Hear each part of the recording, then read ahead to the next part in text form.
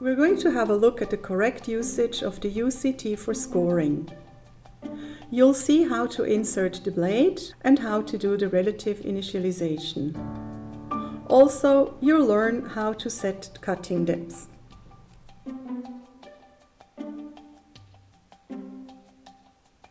First insert the blade in the blade holder, insert it up to the cutting edge.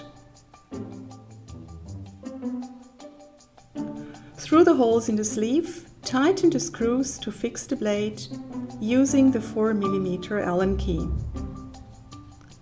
Then you carefully place the rigid glide shoe on the insert sleeve. Be careful when doing so, the blade is extremely sharp.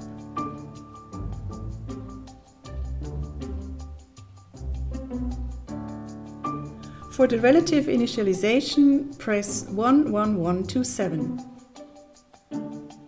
Use the adjusting wheel to set the height of the blade and flush it to the rigid glide shoe.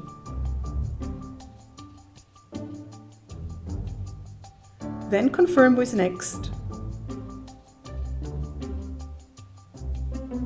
The cutter carries out the relative initialization.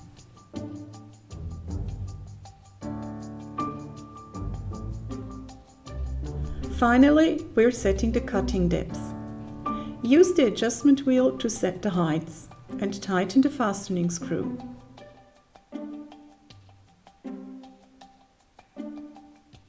Then press 11125. The cutter will now carry out a test cut.